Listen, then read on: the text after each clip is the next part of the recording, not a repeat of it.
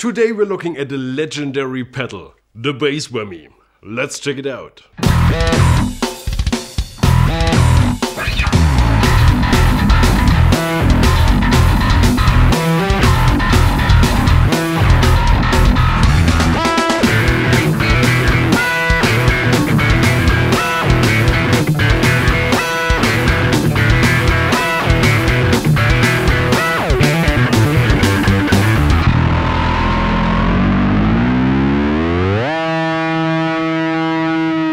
Hi lovely people of the internet, welcome to Bass the World. My name is Gregor Fris and today I'm accompanied by Mr. Bassface himself, legendary German bass player Frank Itt. And this is the Digitech Bass Whammy, an amazing pitch shifting pedal with some interesting extra features that I didn't expect but very much enjoy.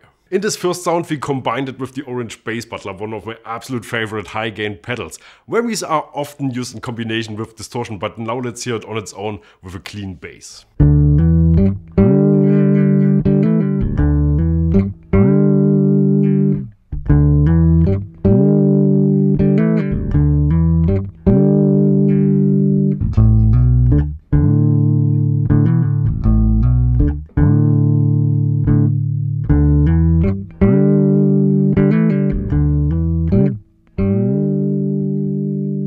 The bass whammy is different to most other pitch shifting pedals. First of all, it's made for bass, that means it works well in all tonal ranges.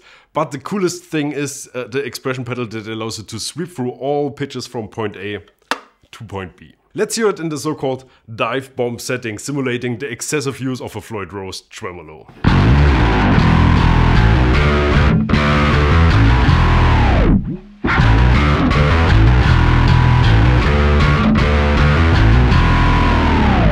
Pedal comes in a solid metal housing. On the right we have a bass input and a MIDI plug that allows us to integrate this in a bigger setup and switch settings from an external MIDI controller. On the left sits the output jack and a 9V power in that requires 1300 milliamps. The pedal is shipped with a power supply but I had no issues using it with one of the 500 milliamps outputs of my Strymon Zuma.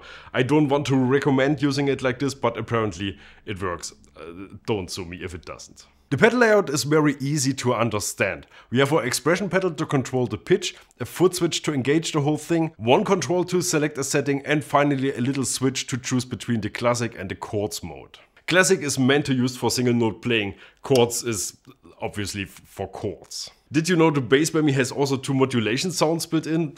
I didn't. Digitech Course teamed the detune modes and now let's hear the second one called Deep.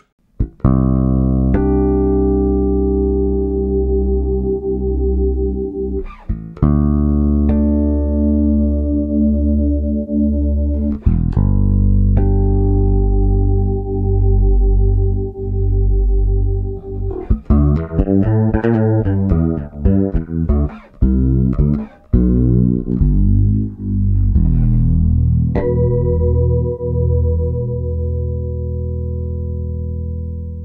like this a lot. What a pleasure to find something like this in a pedal that I otherwise mostly associate with metal players. But now let's go back to the typical whammy settings. The modes are grouped in two categories, whammy on the right and harmony on the left. On the whammy side the pedal always starts with your normal root note at the bottom and then goes to the selected interval. The easiest way to use the whammy is to choose one of the octaves. There's one below, one up or even two up if you want to go even higher. But there's also seconds, fourths and fifths, each above and below your root note. Once we go to the harmony side things get more complex. Here you don't only decide the interval the expression pedal arrives at when it's all the way up, but also another one that you get when the expression pedal is in its standard position. But you don't have to use it like this at all. You can also completely ignore this side of the pedal and use this side to create some chords.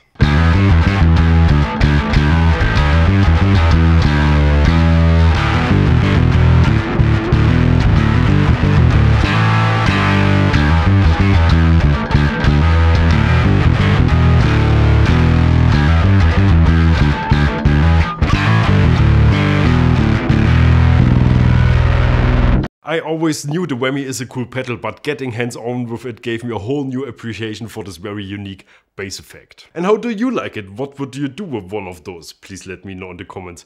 And before we go, let's hear the other detune sound called Shallow.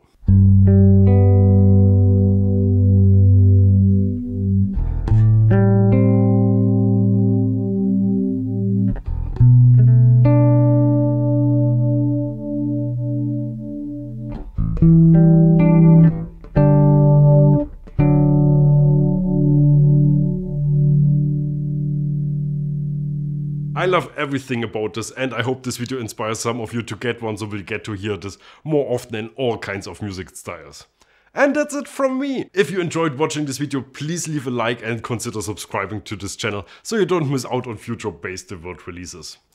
Bye bye! The World